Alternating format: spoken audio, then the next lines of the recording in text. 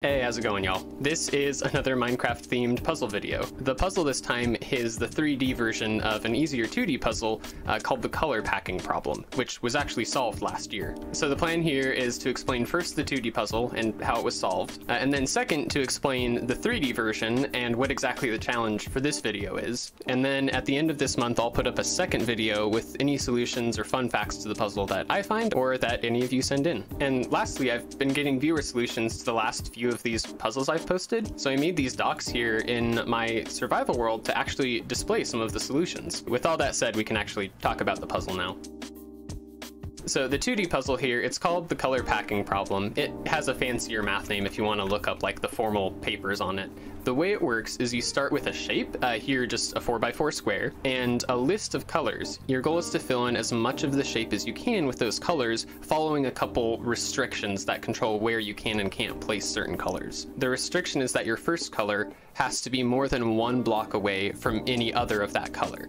The second color has to be more than two blocks away, third color has to be more than three blocks away, you get the idea. So you do gotta keep track of the order that you chose your colors in. So I have here red, green, blue, yellow for one, two, three, four. So we'll take the second color, for example, the green one. It has to be more than two blocks away from itself. So if we look at any two green, here and here, uh, we can count one, two, three more than two blocks away. The red tiles just have to be more than one block away from themselves, so that just pretty much means they can't be like right next to each other. Uh, the distance is just counted block for block, and you can only move uh, left, right, up, and down when counting. The yellow tile here is the fourth color, so as an example, uh, the smooth stone here indicates all the spots that you can no longer place a yellow tile because it would be too close to this one. And then up here, uh, these are possible illegal arrangements. So, you know, red and green being too close, uh, this green is exactly two blocks away from itself. It does need to be more than two blocks away. As an example, I limited myself to 16 colors and tried to fill in uh, a chunk, so a 16 by 16 area. This was the best I could do by eyeballing it, so these glass blocks here are just marking the squares I wasn't able to fill in. The big discovery about this problem from last year is that it turns out any shape can be filled in with just 15 colors. If you want to actually see like what this solution looks like, there's a Quanta article where they have a great animation of it it. And then lastly, for the 2D version, I took a shot at making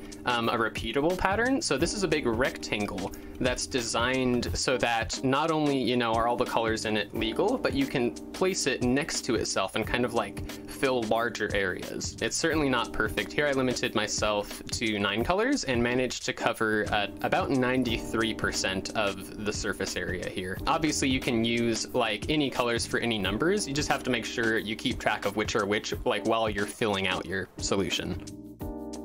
The 3D version of this problem is pretty much what you would just guess. It's the exact same thing, but you're filling in a 3D shape, and you can count blocks not just left, right, uh, forward, backwards, but also up and down. So for example, if you place uh, your fourth color right there, this glass octahedron shows all the spots that you can no longer place another yellow block. A super easy memory trick for the distance is to just measure it by piston pushes. So if there were two blocks you're trying to decide if they're too close or if they're okay, uh, you can count how many piston pushes it would take to move one block to the location of the other. In this case, it'd be one, two, three, four, and yellow needs to be more than four blocks apart. So this setup right here would be an illegal way to place your fourth color. One of the frustrating parts of this problem is that it's kind of hard to like get inside of your solution to change stuff.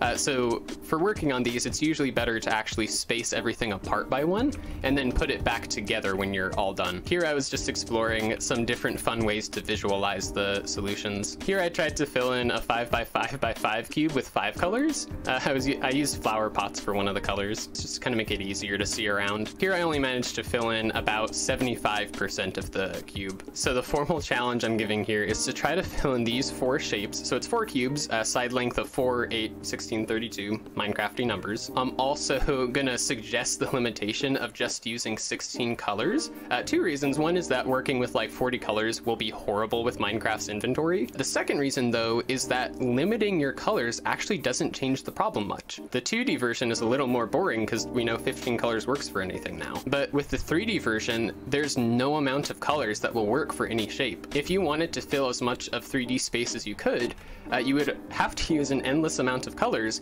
and at best you'd actually only be able to fill about 80 to 90% of it. So I'm kind of jokingly defining Minecraft's color density here to be the highest percentage of a Minecraft world you can fill in using only 16 colors with this puzzle. But filling in an entire Minecraft world is uh, rather overwhelming, so instead that's why I'm suggesting these cubes. I'm also suggesting these doubling cubes as the sizes because I'm hoping that solutions for the smaller cubes can be easily reused or incorporated into solutions for the larger cubes. And by the way, these are the four docks I've reserved for 3D solutions. I'd be very pleasantly surprised if more than four solutions were sent in, but if there is an abundance of solutions, we'll turn it into a little competition. So each dock will go to the densest solution sent in for that size. For example, the 16 wide cube here uh, has 4,096 blocks inside, so that'd be a perfect score, which I'm very sure is mathematically impossible. Um, but whoever gets closest to that 4,096 number is who will get the dock.